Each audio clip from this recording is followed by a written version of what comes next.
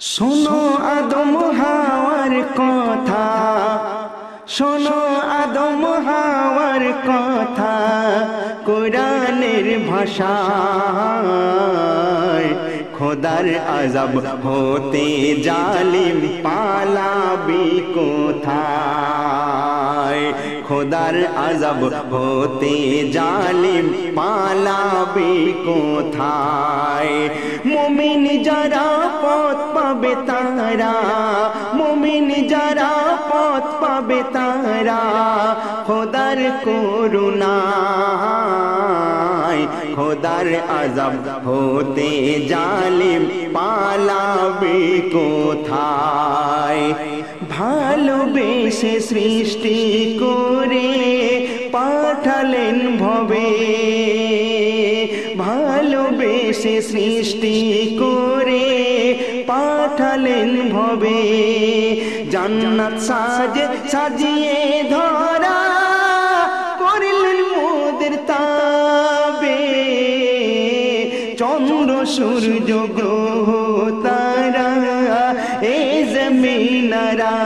আসমান, পাহাড়, পর্বত, নদ, নদী, সবই মানবের কল্যাণ।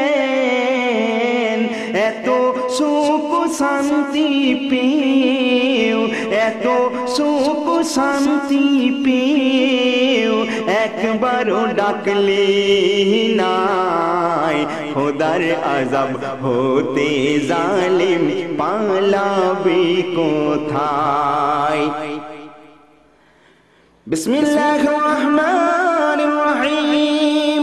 এই জন্য আমার পরওয়ারদিগারে আলম রব্বুল আলামিন পবিত্র কালামুল্লাহ শরীফের মধ্যে ইরশাদ করে বলছেন, আল্লাযী জাআলা লাকুমুল আরদা ফিরাশান ওয়াস সামাআ।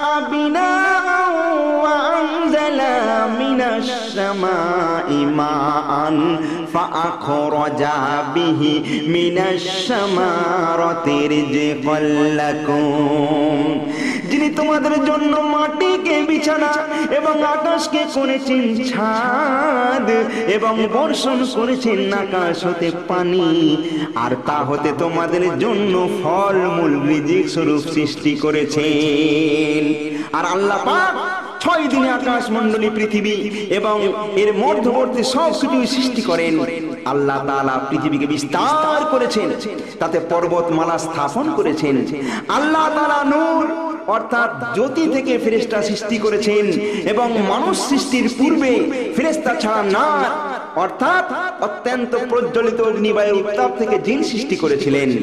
জিন সৃষ্টির পর আল্লাহ তাআলা মাটি থেকে মানুষ সৃষ্টি করার কথা ব্যক্ত করলেন। তারপর দেখেন, আল্লাহ তাআলা বলেন, মাটির আদম বানাতে চায়। আল্লাহ তাআলা বলেন, মাটির আদম বানাতে চায়। ফেরেশতা যায় ছুটে তখন পৃথিবীর হর জায়গায় এক মুঠো মাটি হাওয়া পানি দিয়ে মাটির আদম বানায়। মাটি হাওয়া পানি দিয়ে মাটির আদম বানায়।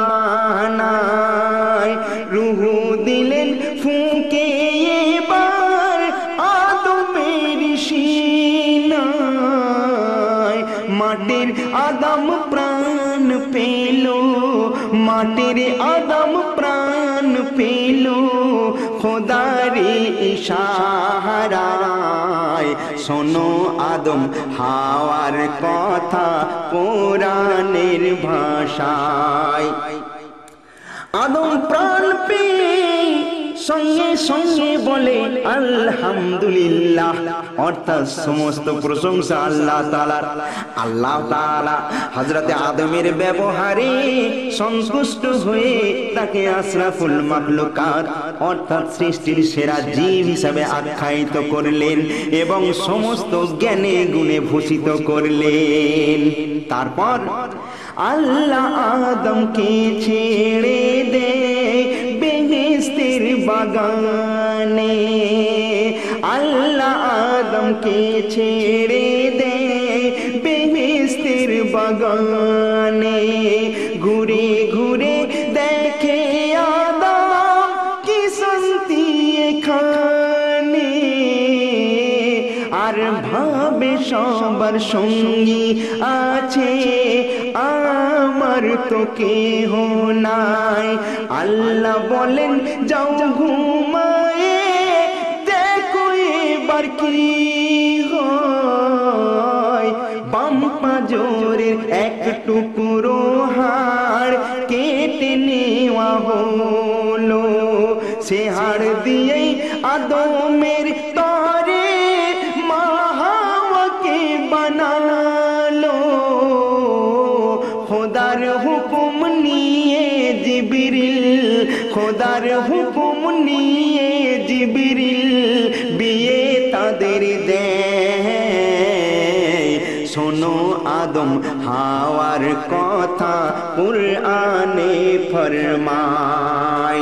وقلنا يا آدم اسكن أنت وزوجك الجنة وقول منها رغدا حيث سعتما حكم هلو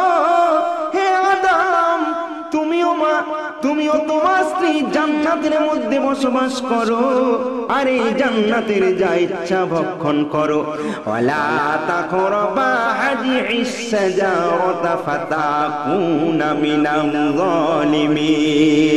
কিন্তু সাবধান, এই গন্ধম গাছের কাছে যাবে না, আর এই ফল খাবে না। তাহলে দুজনাই হবে ক্ষতিগ্রস্ত। কিন্তু ইবলিসের ছল চাতুরি মা ধরতে না পারে। ইবলিসের ছল চাতুরি মা ধরতে না পারে। অমর হবে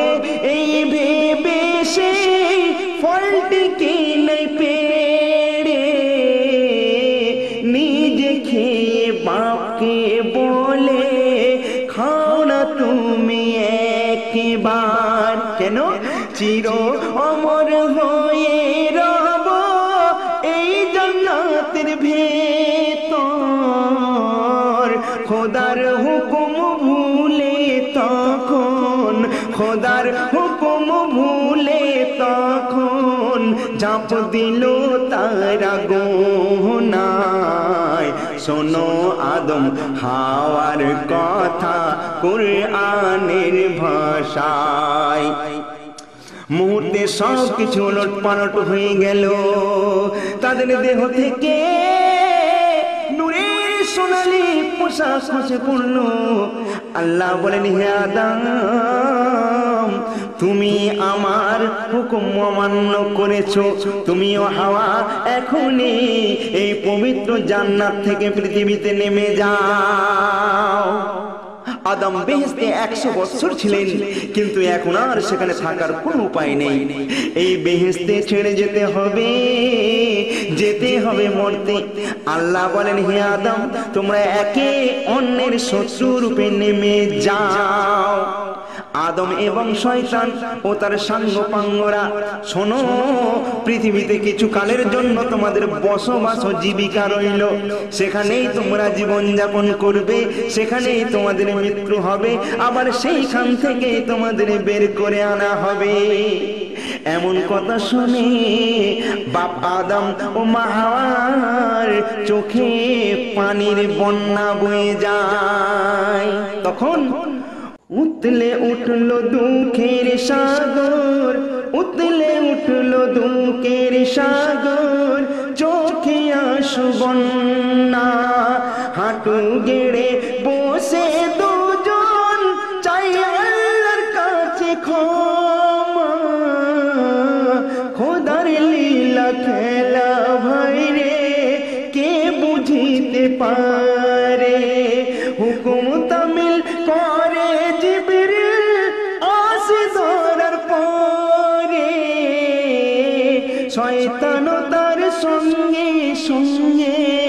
শয়তান তার সঙ্গে সঙ্গে এলো দুনিয়া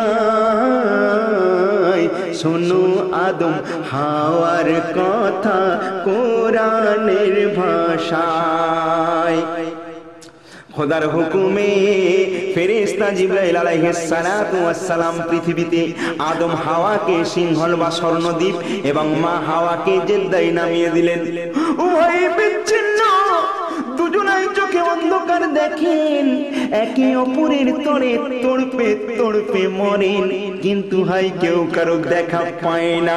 এক এক এইভাবে ঘুরতে ঘুরতে তিনশো বছর পার হয়ে গেল। তাদের দুজনাই এইভাবে ঘুরতে ঘুরতে আরাফাতের জবলে রহমত নামক পাহাড়ের পাদদেশে দুজনাই এসে হাজির হলেন আদম আর হাওয়া। দুজনাই ছুটে এসে পরস্পরের সঙ্গে মিলিত হলেন। ভাইরে বেহেস্ত ছেড়ে আসার পর মাটির পৃথিবীতে এই তাদের প্রথম মিলন। তারা উভয়ই ক্ষমা প্রার্থনা করে আল্লাহর দরবারে, ঝরঝর করে ক্রন্দন করে আর এই কথা বলতে থাকে। কি বলতে থাকে? হে খোদা দয়াময় মোরা ভিকা চাই ক্ষমা করো মোদের গোনা তোমার হাবিবের সাথে তখন আল্লাহ বলেন রে আদম, যার নাম নীলে মুখে। আল্লাহ বলেন রে আদম, যখন মোর হাবিবের নাম নিলে সদকাতে মাফ করিলাম, থাকো তোমরা সুখে। আর আবাদ করো দুনিয়াকে মোর, আবাদ করো দুনিয়াকে মোর, প্রেম প্রীতি ভালোবাসায়। আদম হাওয়ার কথা শোনো, কুরআনের ভাষায়। এইবারে পশ্চিমে নুদ নামক স্থানে স্থায়ী বসবাস শুরু করেন। এই জায়গাকে তারা কানাইন নাম দিয়েছিলেন। জায়গাটি অতি মনোরম মাটি ও আবহাওয়া কৃষির উপযোগী। জিব্রাইল সালাম তো আগেই নানা ফলের বীজ বেহেশতে হতে এনে দিয়েছিলেন। আদম হাওয়া বেশ সুখেই এখানে থাকতে লাগলেন। বিবি হাওয়া কুড়িবার গর্ভ ধারণ করেন। প্রতিবারেই যমজ সন্তান হয় একটি পুত্র আর একটি কন্যা। বুঝলেন না? কাজেই তার মোট চল্লিশটি সন্তান জন্ম নিল। এই চল্লিশটি সন্তানের মধ্যে হাবিল আর কাবিল নামে সন্তান ছিল। হাবিল আর কাবিল নামে দুটি সন্তান ছিল। কাবিল ছিল বড় শয়তান হজরত আদমের প্রথম পুত্রের নাম শীষ দ্বিতীয় পুত্র কাবিল এবং তৃতীয় পুত্রের নাম হাবিল। কাবিলের সঙ্গে যে কন্যা জন্মায়, সে ছিল অতীব সুন্দরী। কিন্তু হাবিলের বোন অত সুন্দরী ছিল না। সৃষ্টির প্রাথমিক অবস্থায় বিবাহ পদ্ধতি আল্লাহ তালা একটু সহজ করে দেন। তিনি প্রথম জোড়া পুত্রকে দ্বিতীয় জোড়ার কন্যার সঙ্গে এবং দ্বিতীয় জোড়ার পুত্রের সঙ্গে প্রথম জোড়ার কন্যার বিবাহ জায়েজ করেন। সেই মতো আদম কাবিলকে হাবিলের বোনের সঙ্গে বিবাহ দিতে উদ্যোগী হন। কিন্তু হাবিলের বোন সুন্দরী না হওয়ায় সে তাকে বিয়ে করতে অস্বীকার করে। বরং সে নিজের বোনকেই বিয়ে করার জন্য বাপ আদমের উপর প্রবল চাপ সৃষ্টি করেন। আদম খুব আদম খুব চিন্তায় পড়ে গেলেন। অনেক ভাবনা চিন্তা করে একটা উপায় স্থির করলেন। দুই ভাইকে একটি পাহাড়ের চূড়ায় গিয়ে আল্লাহর উদ্দেশ্যে কিছু জিনিস কুরবানি করতে বললেন। যার কুরবানি আল্লাহর কাছে কবুল হবে, সেই হবে কাবিলের বোনের বিয়ের হাকদার। এবার হাবিল আর কাবিল এক পাহাড়ের উপরে গেল। কাবিল কৃষি কাজ করত, ফসল উৎপাদিত হতো প্রচুর, কিন্তু সে ছিল অত্যন্ত কৃপণ। করল কি? একটা পাত্রে করে কিছু আদ মরা শস্য একটা পাথরের উপর রাখল। ছোট ভাই হাবিল ছিল অত্যন্ত সাদা সিরে সরল মনা মনটা তার একেবারে সাপ। সে মেষ পালন করত। সেদিন একটা মোটা তাজা মেষ নিয়ে আল্লাহর উদ্দেশ্যে কুরবানি করতে পাহাড়ের অপর ধারে রেখে দাঁড়িয়ে রইল। একটু পরে অবাক হয়ে দেখল, আকাশ থেকে এক গায়েবী আগুন এসে তার মেষের উপর পড়ল। আর মেষটা অমনি পুড়ে পুড়ে গায়েব হয়ে গেল। ফেরেশতারা সেই মেষটা জান্নাতে তুলে নিল আর কাবিলের শস্য পড়ে থাকল। তাতে কোনো আগুনের স্পর্শ হলো না। তার কুরবানি আল্লাহ যে কবুল করেন নাই, এটা কাবিলের আর বুঝতে বাকি রইল না। ফলে ক্রোধে তার মুখখানা রক্তে লালে লাল হয়ে উঠল। হাবিল তার ভাই কাবিলের এই অমূলক ক্রোধের অর্থ বুঝতে পারল না। তাই বলে, ভাই কাবিল, আল্লাহ তাআলা সৎ কুরবানি কবুল করেন। অপর কারণ নয়, এই কথা শুনে কাবিল তেলে বেগুনে জ্বলে যায়। তখন কি করল জানেন? হাবিলের কথাতে কাবিল রাগ যায় মাথায় চড়ে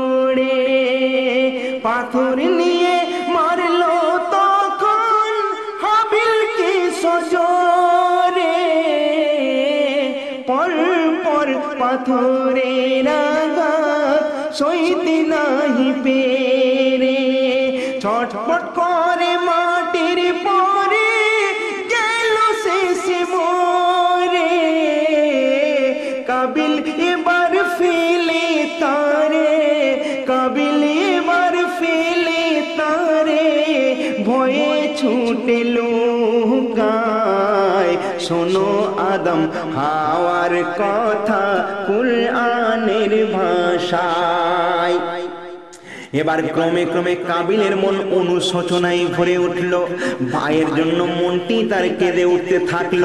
ভয়ে তার দেহ কাঁপতে লাগল। ইবলিসের পাল্লায় পড়ে সে আজ নিজের ভাইকেই খুন করেছে।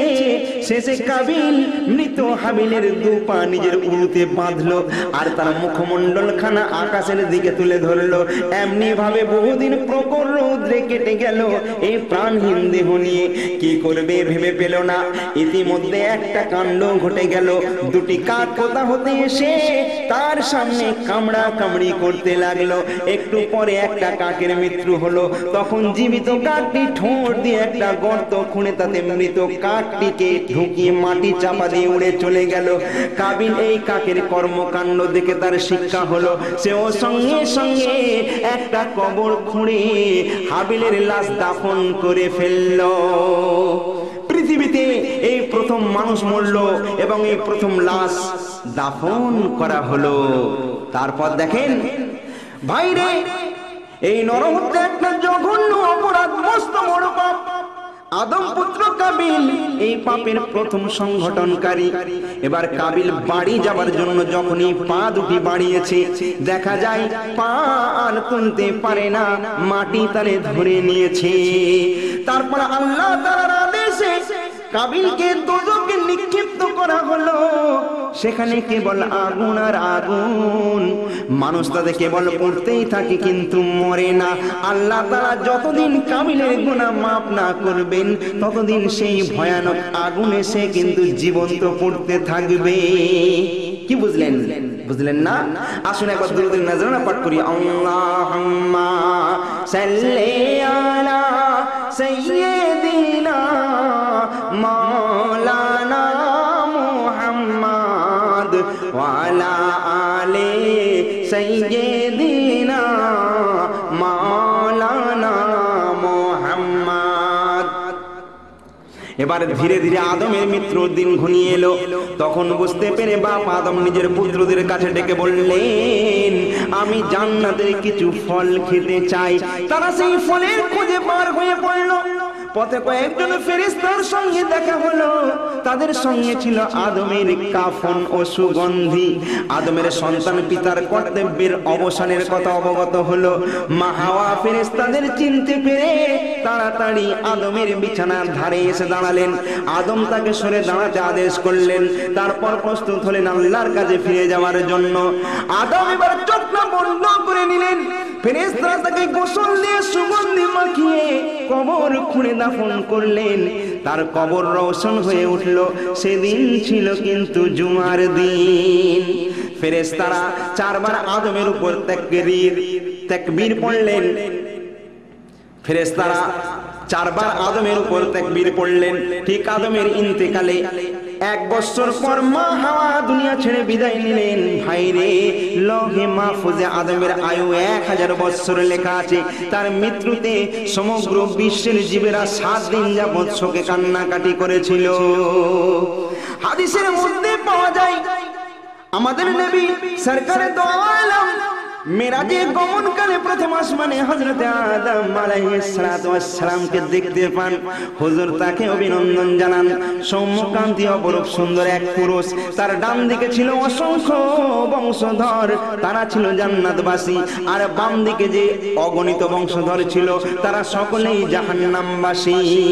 এদের জন্য আমার নবী বহুক্ষণ কেঁদেছিলেন। তখন জিব্রাইল আলাইহিস সালাম আল্লাহর নবীকে সবিস্তারে সমূহ কিছু বয়ান করে শোনালেন।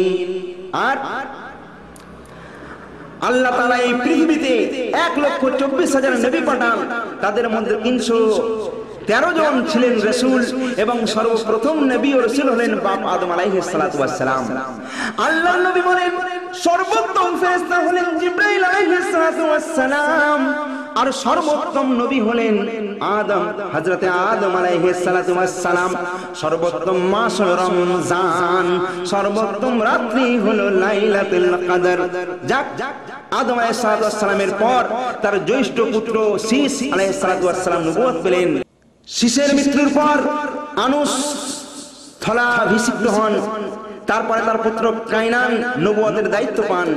কাইনানের মৃত্যুর পর নবী হন তার পুত্র মাইলাইল। মাইলাইল লোকে ত্যাগ করায় পুত্র হলেন। ইয়ারাদের পরে পুত্র খানু দায়ভার মাথায় নিলেন। এই খানকুই কিন্তু কোরআনে ইদ্রিস নামে পরিচিত। একে আল্লাহ তাআলা সশরীরে চতুর্থ আসমানে তুলে নেন। মেরাজে যাওয়ার সময় তার সঙ্গে আল্লাহর নবীর সাক্ষাৎ ঘটে। হুজুর তাকে অভিনন্দন জানিয়েছিলেন।